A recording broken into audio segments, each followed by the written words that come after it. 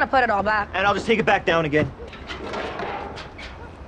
I don't want you to sell the house. Oh, yeah, you should have said something. Debs, No. look, we can just keep on doing this until I give up or you give up, but me, Ian, Carl, Liam, we're moving out. I mean, you make good money with your handy woman business. Are you gonna afford a nice place to rent? No, it's not about the money. Then what is it? I, I want Franny to have what I had. I want her to grow up with family. I, I, I don't want her to be alone.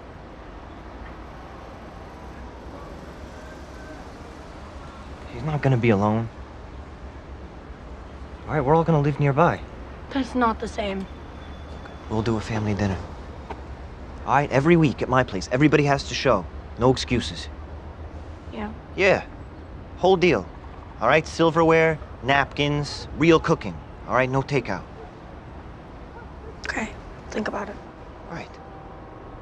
Now, in the meantime, do, do you think you could please stop sabotaging everything? You know, Liam's been out looking for a new place to live today. What?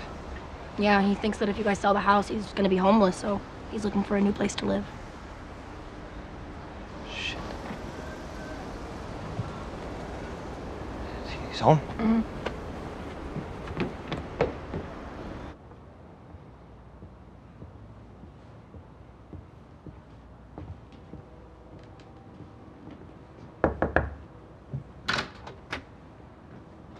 Hey, man. You, um, you got a sec? Sure. Listen, if we sell the house, you, um, you worried about where you're gonna live? Yeah, I don't want to be homeless.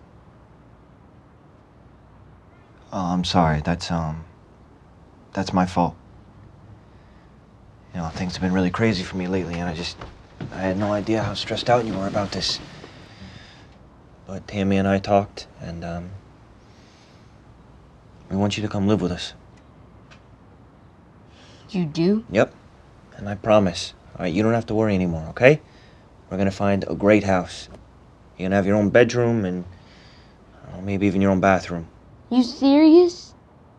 Yeah, it's a fucking heart attack.